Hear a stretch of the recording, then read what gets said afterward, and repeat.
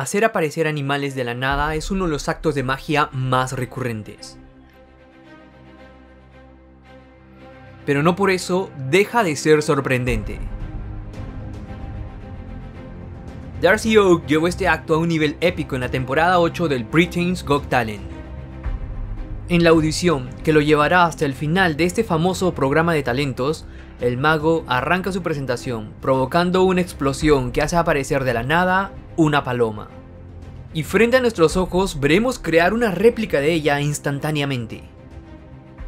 A partir de ese momento, una serie de apariciones inexplicables se sucederán una tras otra. De un pañuelo blanco otra ave aparecerá entre sus manos, y cuando ésta empolla un huevo, el mago lo incuba apareciendo otra pequeña ave, pero aparentemente no solo será capaz de manipular el tiempo, porque frente a todos materializa una voluminosa jaula, siendo imposible que algo de semejantes dimensiones pueda estar oculto en algún lugar. Mientras nuestra mente está tratando de dar sentido a lo que estamos presenciando, el ave se dirige al interior de la jaula, y como si no hubiera sido suficientemente increíble lo que ha sucedido, el mago hará una réplica instantánea, no solo de la jaula, sino del ave que está contenida dentro de esta. Los millones de espectadores asombrados no podrán creer que esto sea posible. Pero la magia no se ha agotado, ha reservado algo para el final, desapareciendo todas las aves de la jaula, y desde donde aparece ahora una mujer cuando todos hemos sido testigos de que no había nada más dentro. Lo que hemos visto fue asombroso. Que aparezcan cosas de la nada es algo que nunca ha sido observado. Por eso es inadmisible para la ciencia. Podría ser la magia, la única explicación posible para entenderlo.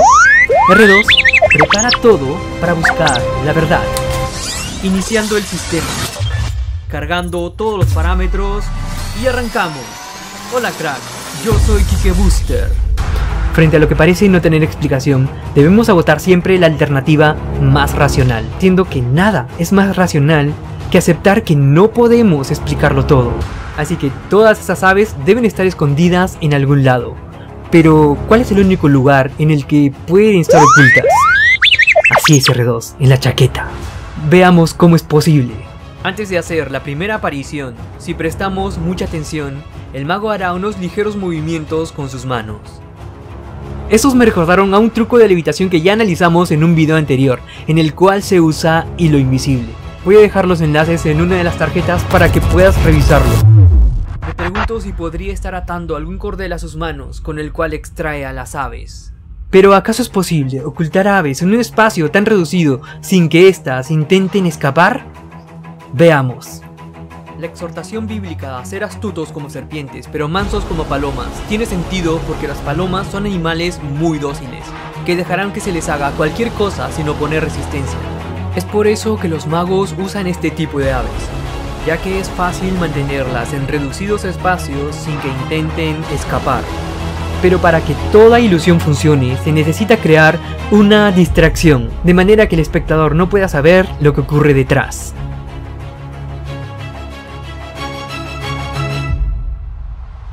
En este caso el mago usa plumas, pero si nos fijamos bien en realidad, no son plumas sino algún tipo de papel. El papel flash es un papel que ha recibido un tratamiento químico para reaccionar frente al fuego de la manera como lo vemos en pantalla, consiguiendo encenderse y consumirse de manera casi instantánea, generando ese efecto luminoso que evita que veamos lo que ocurre verdaderamente. De esta manera crea la distracción para poder extraer la primera ave de una de las mangas. Esto lo deducimos porque podemos ver al inicio de la presentación que ambas mangas están extrañamente cerradas. Y después del flash, una de ellas aparece abierta, pues debió ser desde allí desde donde sale la primera paloma. La segunda ave sale del interior de la chaqueta extraída con un cordel. Veamos cómo se hace. En la cazadora que lleva puesta el mago hay compartimientos y dentro de estos están las aves sujetas con una cuerda.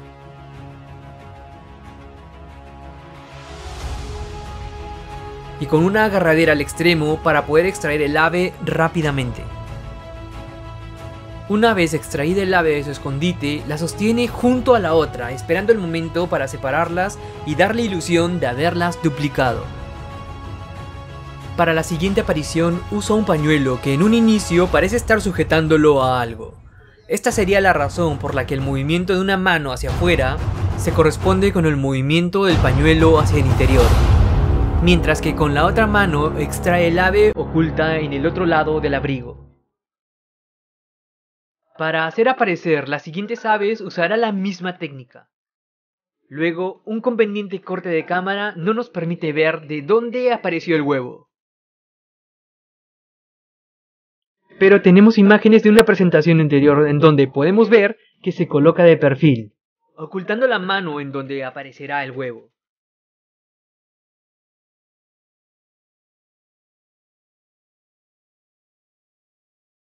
Y luego se pone del otro lado y de la mano oculta aparecerá otra ave. La jaula que vemos aparecer de la nada en realidad es extraída de la otra manga, pues esta es una jaula especialmente diseñada para colapsarse y desplegarse para ocupar un espacio mínimo hasta el momento en que hace su aparición.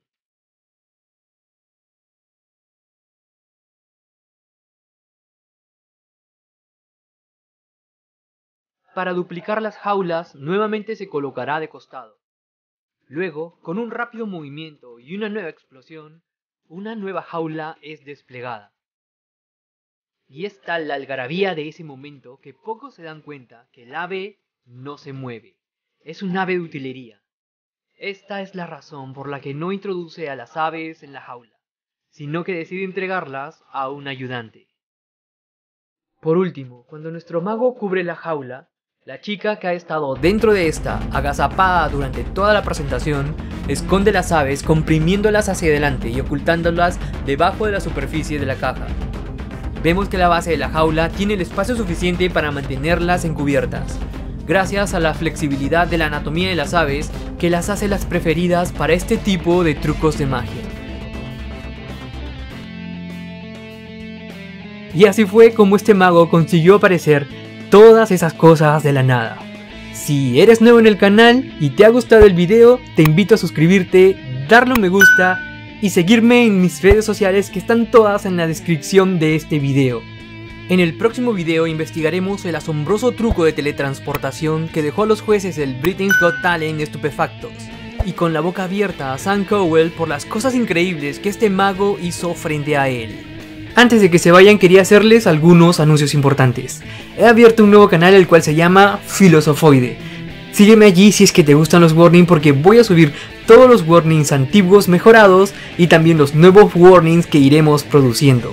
El otro anuncio es que tengo un canal en Twitch en el cual puedes seguirme solo si quieres verme haciendo el ridículo jugando algún videojuego pero no se limita a eso ya que podríamos hacer reacciones o cualquier otro tipo de contenido que pueda ser transmitido en directo. Incluso desde allí podría enseñarles cómo se hace el proceso de edición, efectos para hacer los videos del canal. Los que ya me siguen saben que cualquier anuncio lo estaré haciendo a través de Instagram, así es que sígueme allí si es que quieres estar al día. Ahora sí, sin más por el momento, muchas gracias por ver y como siempre digo, ya lo sabes, espera muchos más videos.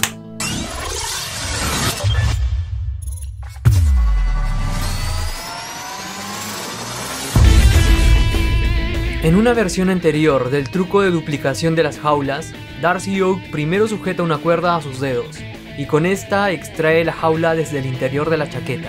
Algo debió suceder para que decidiera dejar de usar aves vivas en esta secuencia.